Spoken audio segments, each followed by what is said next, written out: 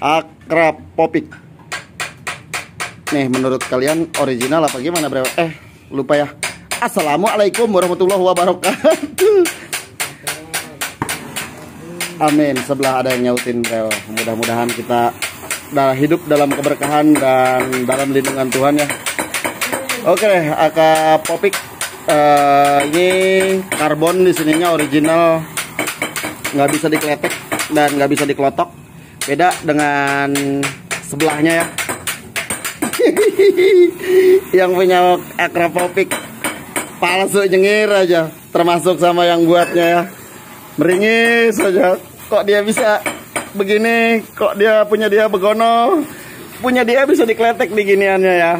Ini nggak bisa bro akrapopik oke dari keadaannya seperti ini bro dan hari ini datang ke SKR untuk membuatkan ini katanya hilang ya uh, eh, DB killernya. Jadi kita buatkan aja dan DB killer ini semuanya requestan dia ya bro ya. Gua nggak ngarusin dan ini akramopik itu bukan gue yang bikin ya. Tapi udah uh, dia bawa sendiri dan ini uh, terpasang di motor 650 cc dari Kawasaki. Ayo motor apa? Kawasaki yang 650 cc motor apa? Ayo Nah, yang kemarin katanya moge, moge itu harus wajib 4 silinder ya. Tapi tahu gua uh, moge itu di di atas uh, 400 400 cc ya, Teo. Dan syukur alhamdulillah ini gua temuin lagi moge di mana moge ini uh, memiliki kapasitas uh, mesin 650 cc ya. Mau satu silinder kek, mau tiga silinder, mau lima silinder. Yang jelas ini cc-nya 500 eh 650 cc. Jadi kalau di bawah 400 itu biasanya bukan moge ya. Motor kecil kayak Vario gua bro ya. 125 cc-nya nipis ya. Tapi nggak apa-apa. Ini kan moge ya. Jadi walaupun double silinder tetap moge ya. Kalau kata gua sih bocah mari ya karena gua mah cuma moge disebut moge itu motornya gede bro, nggak keangkat sama kelingking gua ya. Dan hari ini di sini kita lagi buatkan uh, eh, DB DB killernya bro untuk pegangan kayak gini ya bro ya. Nih mungkin pegangan originalnya udah sirna entah ke mana. Kayak gini ya dan ini udah gue copot di motornya. Ini original. Yang enggak original mungkin cukup nyengir aja lah ya.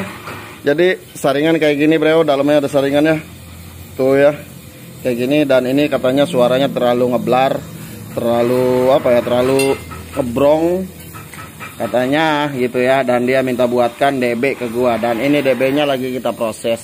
DB nya seperti apa videonya tonton sampai dengan selesai.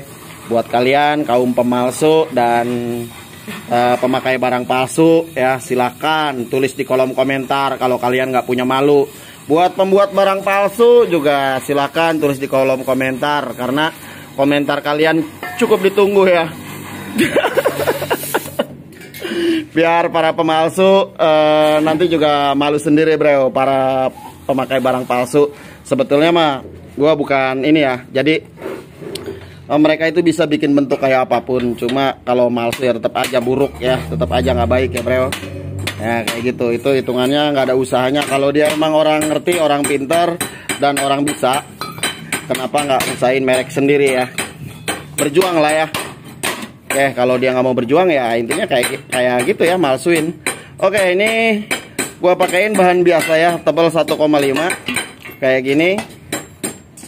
Dan ini bahan biasa semua ini ditongolin ini maksudnya nongol gimana Del? sengaja. Oh sengaja biar ngaceng. Iya. Jorok lo. Udah lu potong aja dah jelek ah. Jelek kayak gigi lu nongol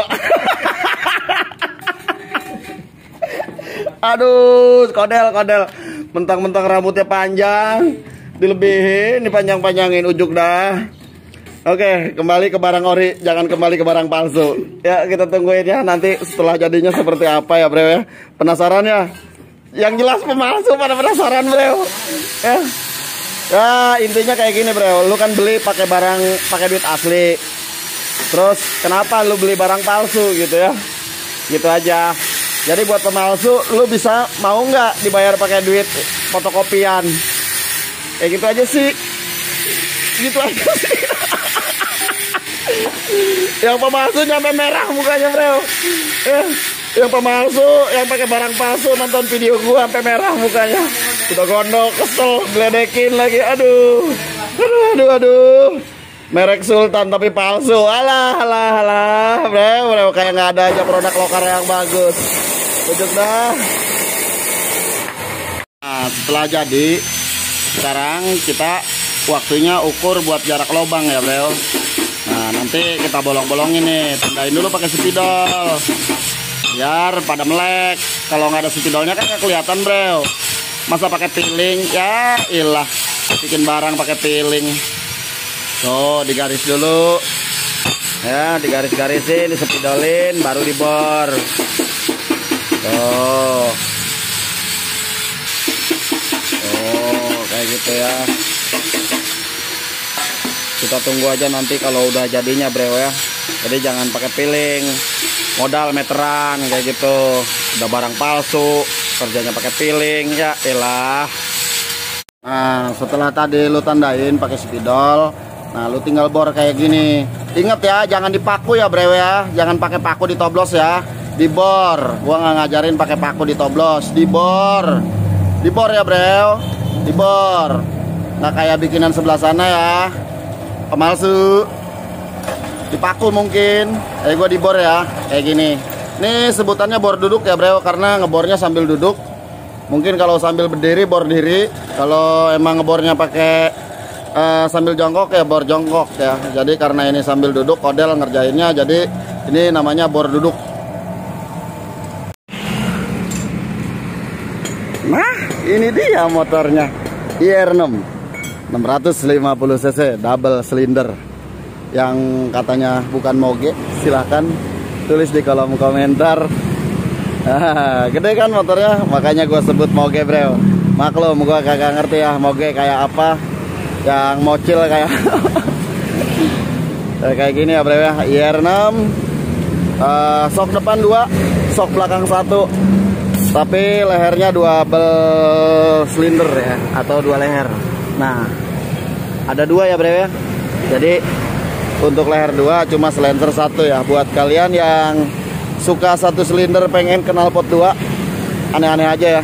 Tapi nggak apa-apa namanya custom ya bro suka-suka lu lah motor-motor lo ya gue emang cuma pulih aja bro oke dan ini sudah terpasang kayak gini ya dan ini yang tadi udah kita buatkan bro ya ini DB nya kayak gini ya DB-nya DB DB DB Keller. DB Keller Akrapopik kayak gini, Bro. Oh. Nah, sekarang kita akan coba hidupin, coba hidupin dong. Nggak ada. Duh, hidupinnya gimana, Bro? Ditiup apa di gimana ini, Bro? Gimana, Bro, yang hidupinnya, Bro? Pencet ini kali, Bro ya? Nggak mau hidup, Bro? Oh ini ada tanda ini bro Pakai jempol coba bro biar hidup. Nah Ini suara tanpa DB ya?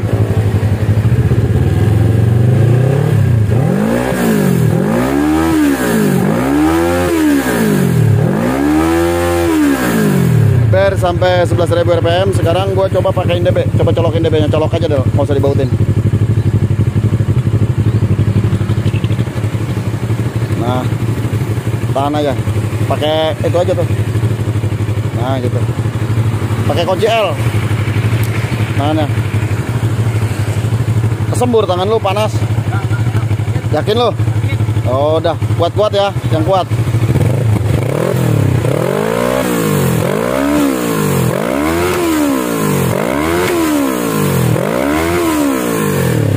Cek 11.000 rpm nya kayak apa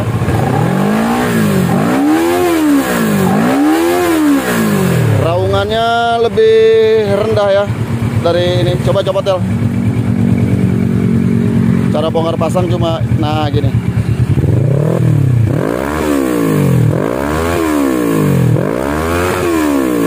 Ini lebih jerit colok lagi del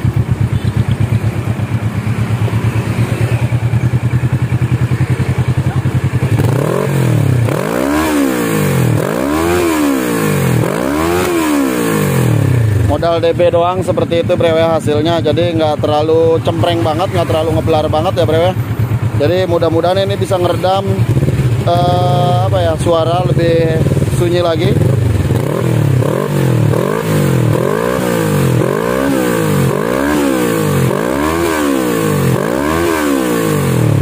Oke sekarang coba sekali lagi dong tanpa DB Bangsapnya kayak gini bro Wow. Lebih sebenarnya sih kalau jujur ya Kalau buat gua pribadi lebih enak pakai DB bro. Cuma ya karena ini mah requestan orangnya ya Gua cuma ngelaksanain aja. Udah dikirim rezeki kerjain aja bro. Jujur.